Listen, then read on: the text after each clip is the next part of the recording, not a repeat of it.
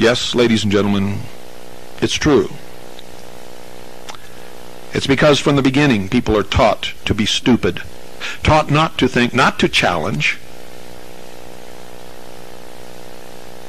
taught not to ask questions.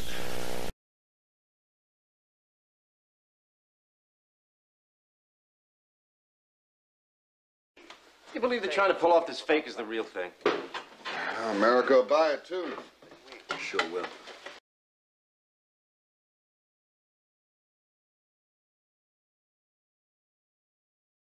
You must unlearn what you have learned.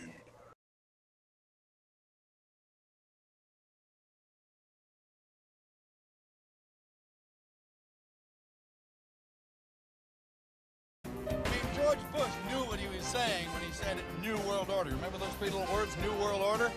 Well, he was a 33rd degree Mason, you know, and as ex-director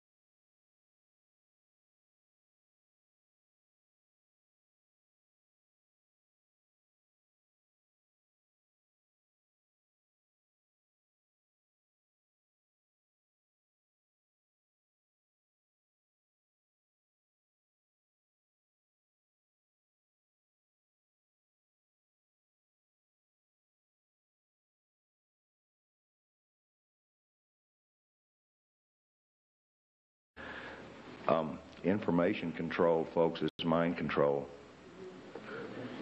Need I say more? What you hear and what you see is all you have to base your decisions upon. We're being brainwashed.